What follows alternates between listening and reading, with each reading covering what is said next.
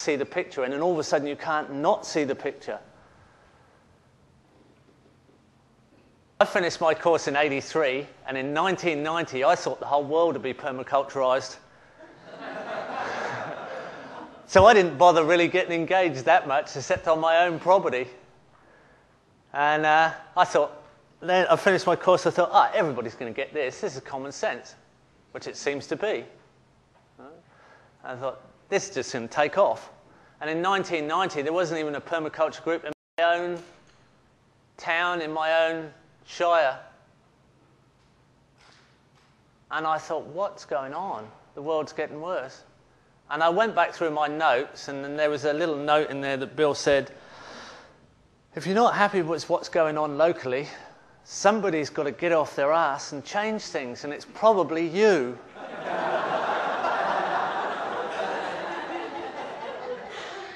And I thought he was talking about me. and he was. And that's what I had to do. And that's what we all have to do. And it's a brave move when you step away from the comfort zone of driving around on fossilized forest, sunlight, and making a move towards something that's in real time and real energy audit. It's a horribly scary move to step over that line. But something really interesting happens when you do, because actually, when you're at, quite a lot of you might be doing this, you're, you're, you're living in this world, this artificially propped up world, uh, and you're dreaming about being in this the other world that you know about, the world that deals in these patterns and harmonizes with the, the real energies. And you step over at the weekend and step back into the, the, the, the, the what you feel is secure world. And there's this insecure, insecure, I'm in, I'm out, or I'd love to be over there all the time, but I've got to go back. Right? And every day, you die quite a few times in your mind. Right? You live a life of many deaths and quite a lot of fear. You're feeling quite insecure, stepping back and forwards. And the day you go, oh, stuff it, I can't be bothered, I'm going. and you take that other step, all of a sudden, that all just drops away. Fear drops away. No longer is there anything to be afraid of.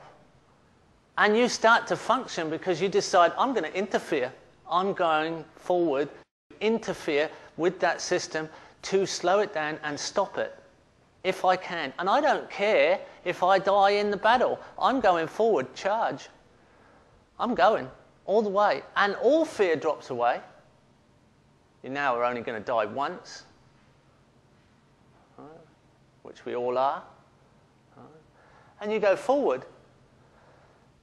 And all sorts of things start to arrive on your doorstep, all sorts of resources, all sorts of offers and opportunities. And you have to be prepared to say yes. And if you keep saying yes, you don't know where you're going to end up. But it's going to be a very interesting journey. And it's going to be a very, very long journey. And time is going to expand enormously. When you look back on a year, it's going to feel like 10 years not 10 minutes. When you look, like, look back on the meaningful things that you've been doing, it's enormous. It's scary to look back over 10 years.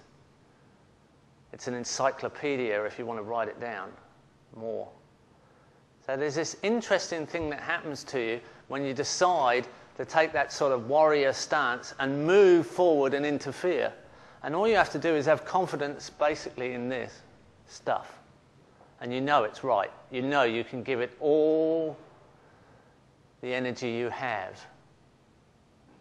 And um, interesting, what seems like coincidences seem to keep happening. I don't know why. I don't want. I don't need to know why, but they do happen, and they keep happening, and they keep arriving on your doorstep in all different forms. And you just have to keep saying, Yes, I'll do it. Yes, I'll have a go. Yes, I'll try. And more and more of it happens. And it, you just and you can start at your back door, right at your back door, and keep going with it.